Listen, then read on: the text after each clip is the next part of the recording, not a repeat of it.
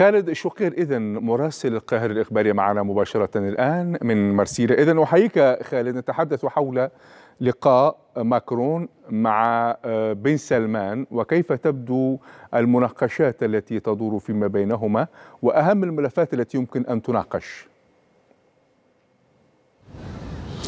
نعم حساني بعد التحية وبعد أقل من ساعة تمام التوقيت الواحدة والربع بتوقيت باريس الثانية والربع بتوقيت الفرنسي بتوقيت القاهرة عفوا سيتم استضافة ولي العهد السعودي محمد بن سلمان بقصر الإليزي على مأدبة غذاء لفيجارو تحدثت عن غذاء عمل منفرد بين ولي العهد السعودي والرئيس إيمانويل ماكرون. وتحدثت عن هذا الرجل القوي وأهمية هذه الزيارة. تأتي في انها زيارة طويلة وبصفة خاصة أن باريس أيضا ستستضيف ميثاق عالمي مالي جديد في الثاني والعشرين والثالث والعشرين بالعاصمة الفرنسية باريس.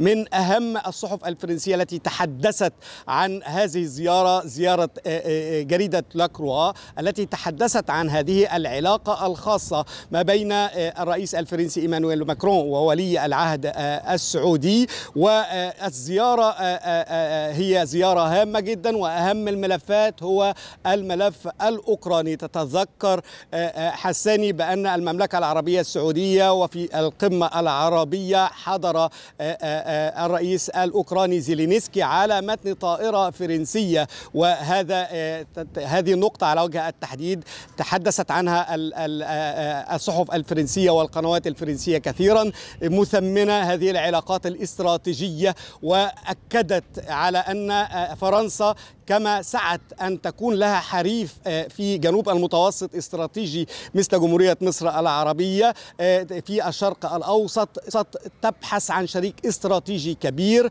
وتجد في المملكة العربية السعودية وولي العهد السعودي هذا الشريك الذي تحاول من خلاله إيجاد مخرج فرنسا نعم. كما تعلم فشلت من خلال الرئيس الفرنسي حساني بإيجاد حل دبلوماسي للأزمة الأوكرانية. حاولت إجراء وساطة من خلال الجانب الصيني وهي الآن تحاول إدخال المملكة العربية السعودية بالتعاون مع الدول العربية المؤثرة في المنطقة لمحاولة إيجاد حلحلة لهذه الأزمة. وليس فقط الأزمة الأوكرانية الحقيقة تحدثت الصحف الفرنسية عن مهندس الدبلوماسية ووزير الخارجية الفرنسي السابق جون إيف لوردوريون المتواجد في لبنان والتقريب أو التقارب التقارب الذي حدث ما بين المملكة العربية السعودية وإيران تحاول فرنسا من خلال تواجد ولي العهد في باريس إيجاد حلحلة للأزمة اللبنانية. إذا هو لقاء هام جدا استراتيجيا بالإضافة إلى العلاقات الثنائية العلاقات التجارية والاقتصادية وأيضا العلاقات الخاصة بشركات الطاقة. آخر زيارة لوزيرة الخارجية الفرنسية كانت خاصة بالأمن في من خلال مشاركتها في مؤتمر خاص بمحاربة داعش والتطرف. ماذا عن التوقع بالنسبة كما تحدثت عن الطاقة أو النفط؟ طبعا السعودية تعتبر من أكثر الدول يعني المنتجة للنفط على مستوى العالم.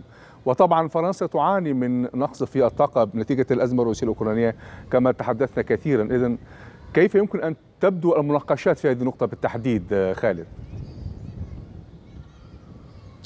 الحقيقة هي هي مشكلة لوجستية واذا ما قرنت وسائل الطاقة التي تعتمد عليها فرنسا كانت فرنسا ليست من الدول التي تعتمد كثيرا على الغاز الروسي. نجد أن فرنسا لديها أربعة محطات وهناك محطة خامسة في ميناء لوهافر للغاز المسال. هي بصورة أو بأخرى تريد إيجاد حلحلة في هذه الأزمة الأوكرانية ليس لصالحها فقط فقط بل لصالح الدول الأوروبية وإنهاء هذا الصراع لأن هذا الصراع سيدخل العالم والرئيس الفرنسي أشار كثيرا إلى هذه النقطة في أزمة غذاء عالمية وأعتقد أن الملتقى أو المنتدى القادم التي ستستضيفه العاصمة الفرنسية باريس في ميثاق عالمي جديد في 22 و 23 من هذا الشهر وهو ميثاق عالمي مالي جديد يدفع في هذا في هذا الاتجاه وهو إيجاد حل سريع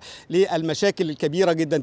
يبدو أن فرنسا تريد من منطقة الشرق الأوسط أو دول الخليج العربي أن تجد لديها حليفا استراتيجيا. تتفق معه في كثير من وجهات النظر وتحاول إنهاء هذا الصراع بكل طريقة بعد أن فشل الرئيس الفرنسي في إيجاد مخرج دبلوماسي للأزمة الأوكرانية، اذا الأزمة الأوكرانية ما زالت هي التي تتصدر والصحف الفرنسية أكدت على أن الدول العربية وعلى رأسها المملكة العربية السعودية اتخذت موقفا موحدا وهو موقف الحياد تجاه كل من روسيا وأوكرانيا، فرنسا تحاول جذب الدول نعم. العربية إلى هذه النقطة وهي نقطة التحالف مع أوكرانيا. وكانت هناك استجابة بحضور الرئيس زيلينسكي في آخر قمة عربية في المملكة العربية السعودية، اذا هي زيارة تاريخية ومهمه الحقيقة تثمنها فرنسا والسلطات الفرنسية وأيضا الصحافة الفرنسية. انفتاحا يبدو أنه أيضا في الأفق ما بين الجانب الفرنسي والدول العربية ككل ليس فقط في الناحية التجارية لكن في الناحية السياسية أيضا لفتح كل ملفات أو حتى حل كل الملفات العالقة ما بين الدول الغربية التي نراها الآن. أشكرك من مارسيليا خالد شقير مراسل القاهرة الاخباريه أشكرك شكرا جزيلا خالد.